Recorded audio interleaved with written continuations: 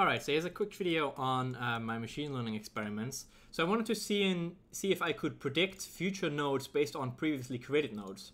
So what I've implemented in the node graph uh, editor is that if you select a node and you press Shift V, um, it will run TensorFlow in the background and make a prediction based on previously generated data, right? So user behavior data.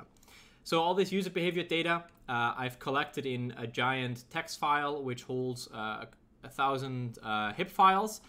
So it describes basically node chains, right? So for example, someone created the box first, and then an attribute create, then a block begin, block begin, poly split, block end, block end, and a color. So in this case, it was a box with an attribute create wrapped in a nested for each loop with a poly split, and then added a color at the end.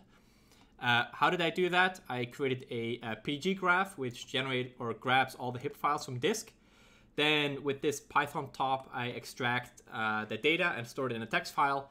I wait for all of those to be completed and then save it out into a single text file, which is the one you see here. Then I uh, trained a TensorFlow model um, with that data so that it can predict future nodes based on, in this case, uh, five previously generated nodes. It has a function as well in the bottom of this script that uh, allows you to feed it um, um, a string like this or a sequence, and then it will predict the sixth node, right? So the future node. I've added that into the node graph hooks.py, allowing me to call that from uh, within Houdini directly. Uh, so with subprocess, I'm able to run a Python 3 uh, process from um, outside of Houdini, which I feed all the, the arguments, right? The, num- the, the previously generated nodes and the number of uh, predictions I'd like, and then I generate the new nodes.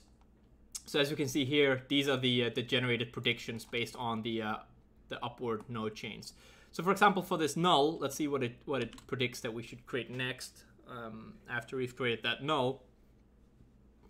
See, so um, based on previously generated user data, uh, people often create a blast, a null, or a normal after a null that has these upward nodes for it. Currently, the, the model is pretty biased towards the three users that have provided me the HIP files. Uh, so the more HIP files I would have, the better the predictions, of course, would be.